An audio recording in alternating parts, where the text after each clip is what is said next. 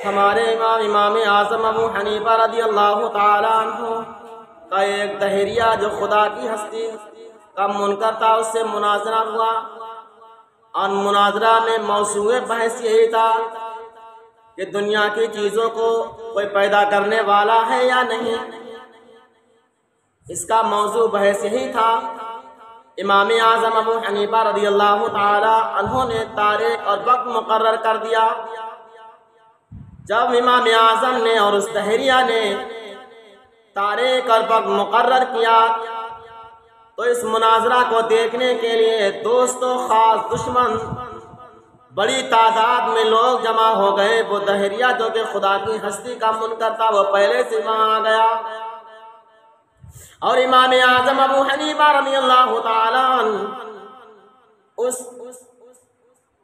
मजमे में काफ़ी देर से हासिल हुए, काफ़ी देर से आए।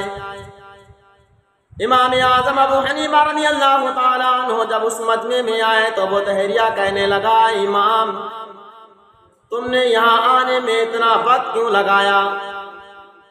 तो इमाम आज़म अबू हनीफा रज़ी अल्लाह तु कहते हैं, ऐ दहरिया खुदा के,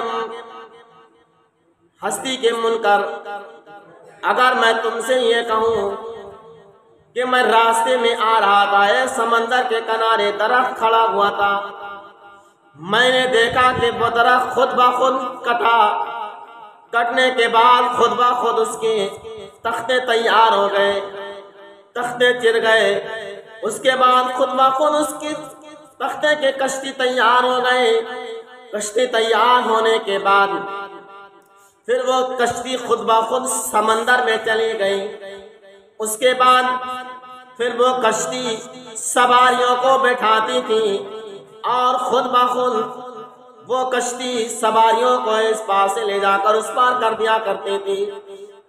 और खुद ब खुद वो कश्ती सवारियों से पैसे में वसूल करती थी।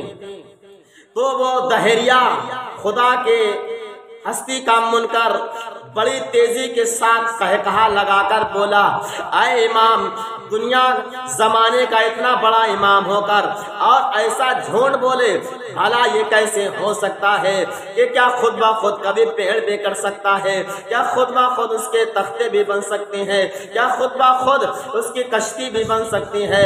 इन तमाम कश्ती को बनाने के लिए लोगों की ज़रूरत होती है। जब लोग इसको काटेंगे, तख्ते छीनेंगे तो कहीं जाकर कश्ती तैयार होगी। और फिर चलाने के लिए भी किसी शख्स की ज़रूरत है।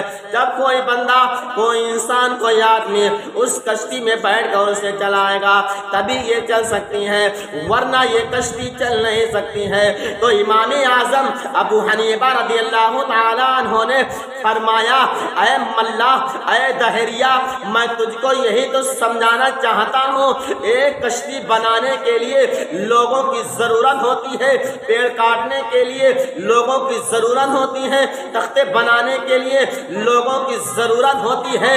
जब इस पेड़ को काटने के लिए लोगों की ज़रूरत होती है, फिर इस जिसने इतनी बड़ी कायनात बनाई है, इसने ज़मीन बनाया, इसने आसमान बनाया, इसने चाँद सूरज पैदा किए इसने इंसानों, जिन्नातों को पैदा किया।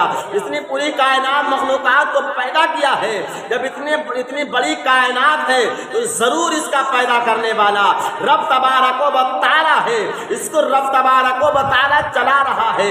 क्योंकि जब खुद ब खुद एक पेड़ नहीं कर सकता है तो इतनी दुनिया खुद ब खुद, इतनी बड़ी दुनिया खुद ब खुद कैसे चल सकती है? इमाम आज़म अबू हनीफा रदी अल्लाह तु की गुफ्तु सुनकर, वो दहेरिया, वो मल्ल अल्लाह वो दहरिया वो खुदा के हस्ती का मुनकर आज सो परेशान हो गया और कोई हम्म, जवाब ना दे सका और शर्मिंदा होकर इमाम आज़म रज़ी अल्लाह तु के कदमों में गिर गया और कहने लगा, सरकार, मुझे कलमा पढ़ाकर, अपने दामन रहमत में छिपाकर, मुस्तफ़ा करीम सल्लल्लाहु अलैहि वसल्लम के दामन रहमत में जगह अता करवा दीजिए। मैं कलमा पढ़कर आपके हाथों पर अपने गुनाहों से तौबा कर कर मुसलमान होता हूँ और इस्लाम में पूरा मुकम्मल दाखिल होता हूँ।